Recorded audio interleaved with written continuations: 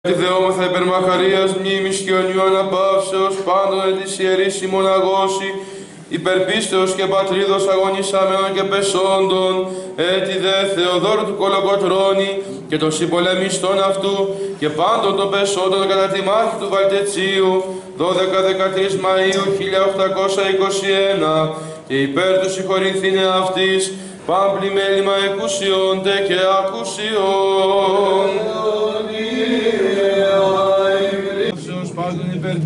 Πατρίδος αγωνισαμένων, και εν δόξος πεσόντων της αγώς του έθνους ημών, πάλετε και επεσχάτων έτηδε, και Θεοδόρου του Κολοκοτρώνη και των συμπολεμιστών αυτού, και πάντων των πεσόντων κατά τη μάχη του Βαλτετσίου, 12-13 Μαΐου 1821, και υπέρ του συγχωρηθήνε αυτής, πάμπλη μέλημα εκουσιόντε και ακουσιών.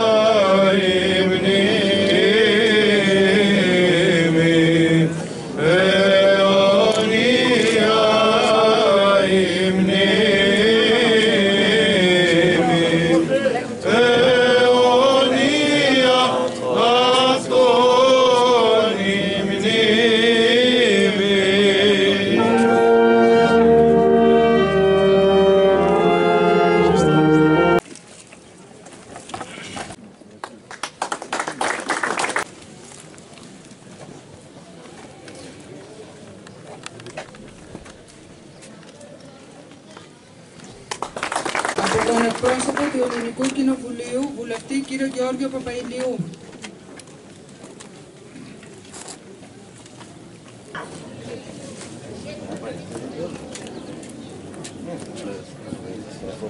Από τον κύριο Παναγιώτη ε, Νίκα, περιφερει...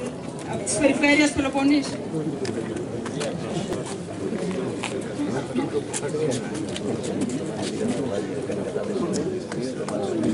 Τον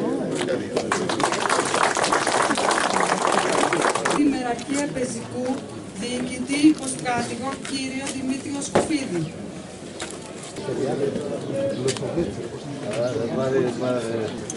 Από τον Διευθυντή της Διεύθυνσης Αστυνομίας Αρκαδίας, ταξίαρχο κύριο Λάμπρο Κατσαντώνη.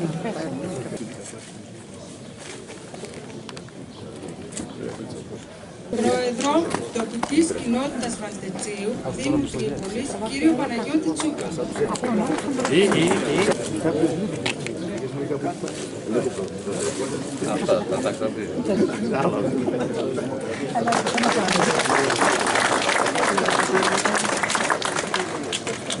τον Δήμαρχο Ερμιονίδος, κύριο Ιωάννη Γεωργόπουλο.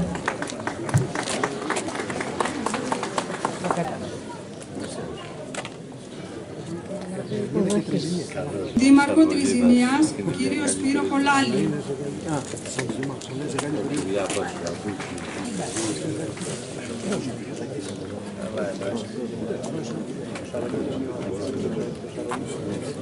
Πρόεδρο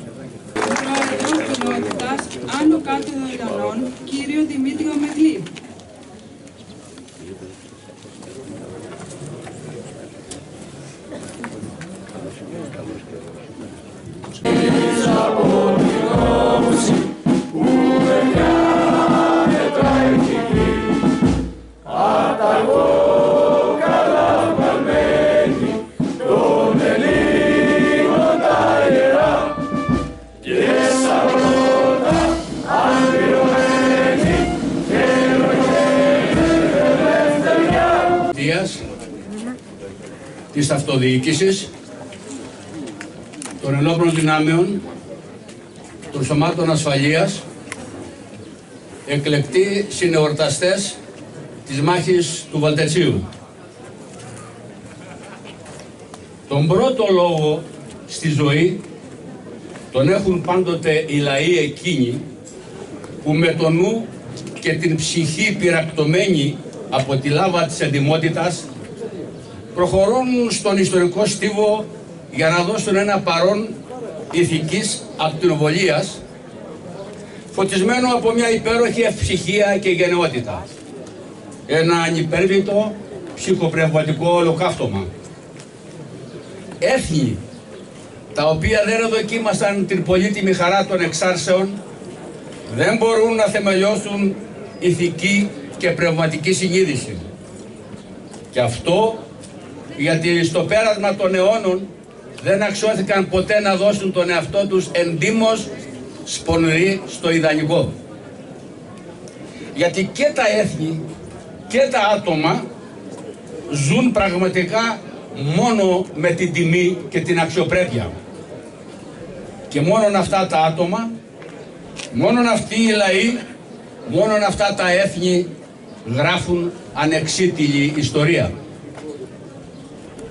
Η ιστορία γράφεται λοιπόν το 1821, τότε που το έθνος το ελληνικό φόρεσε σιδερένια πανοπλία και ορθώθηκε μεγαλόπρεπα, σαν πρώτα, τη στιγμή που η Ευρώπη και η ανθρωπότητα ολάκερη πίστευε ότι είχε ταφεί μαζί με τον τελευταίο των παλαιολόγων.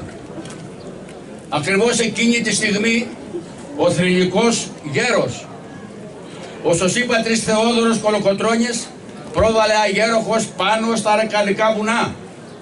Περήφανος, γεμάτος πίστη και αυτοπεποίθηση, ζωντανή εικόνα του ξαναγεννημένου ελληνισμού. Τον ακολουθούν οι επώνυμοι και ανώνυμοι ήρωες των χρόνων του. Τον συντροφεύουν οι ιερές σκες των περασμένων γιγαντομάχων γενεών. Τον οδηγεί η αμετάκητη απόφαση του ξεσηκωμένου έθνους. Ελευθερία ή θάνατος.